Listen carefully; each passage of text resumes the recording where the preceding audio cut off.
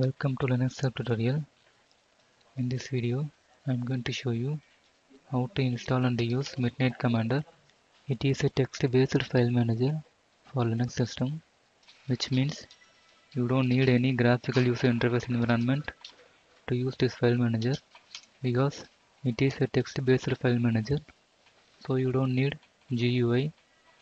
By using this file manager, we can able to perform some file operations like copy, delete, move, rename, file permissions, and file ownership, and etc.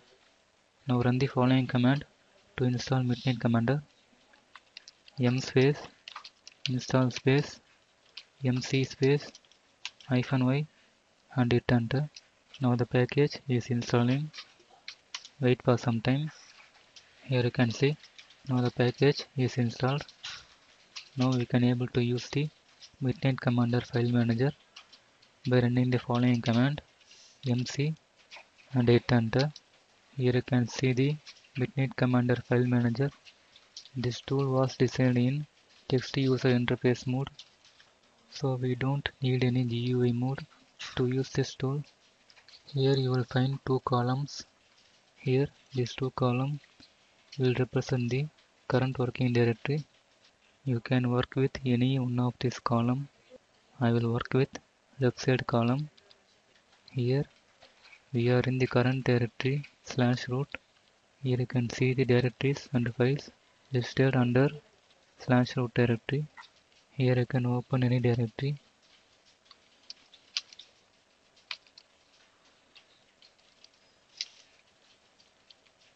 You just highlight the directory you want to open and then hit enter to open the directory.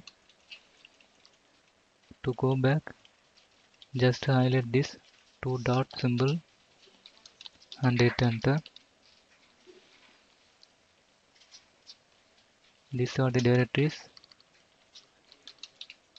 and these are the files located under slash root. In the right side column also, the current directory is slash root. Here you can see the options this one is for left column. This one is for right column. Here you can see this file panel will represent the file operations we can able to perform. This is the command panel will represent the commands we can able to perform. This panel is for options to choose between these two columns you can click here by using your mouse cursor or you can able to press the tab button for switching between these two columns. Here are the options we can able to perform.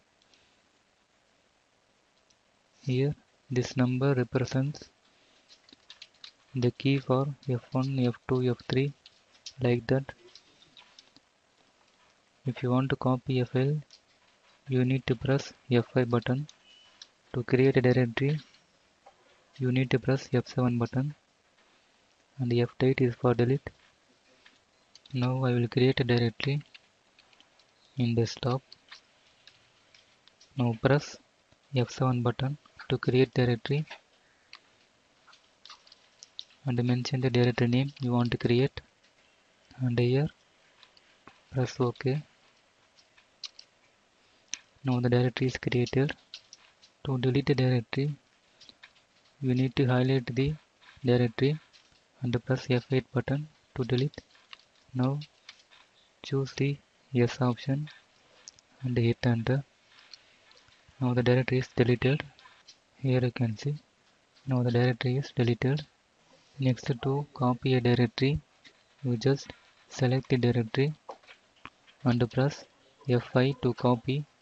If you want to copy more than one directory, you need to highlight the directory and press insert button. And now choose the second directory and press insert button. Now the two directories selected for copying. Now press F5 to copy the directory. And here mention the path where you want to copy to.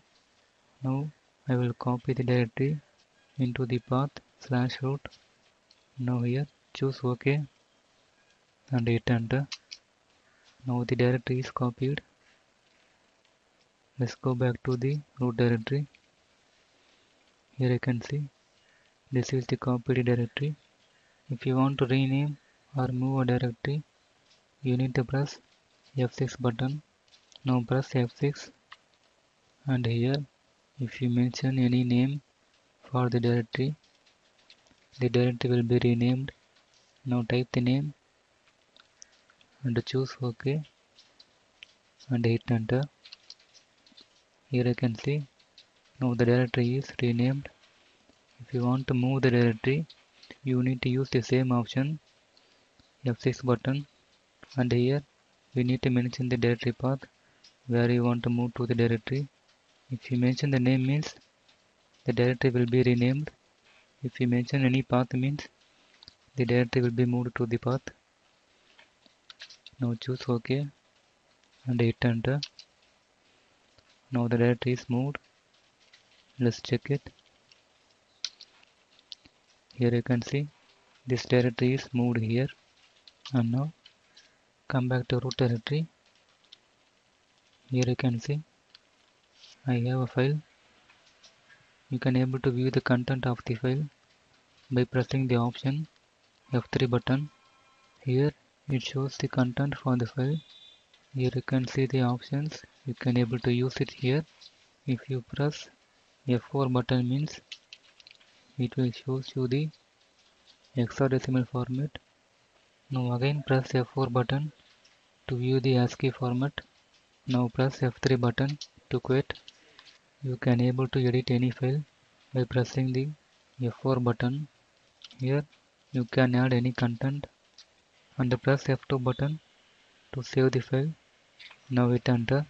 Now the file is saved. Now quit. Now view the content for the same file. Press F3 here you can see. Now the content is modified. Now press F3 for quit. You can able to set the file permissions and file ownership in Midnight Commander. For that press F9 button. And here choose the file panel. Here choose the chmod. Here you can see. Here you can able to set the permissions for the file. You can press space button. Now I will remove the read permission for others. And now select this and hit enter. You can choose chown to set for the ownership. Here you can choose user ownership root and press tab for changing group ownership. And choose it here. Now select this and hit enter. We can able to use this right side column for FTP connections. Now press F9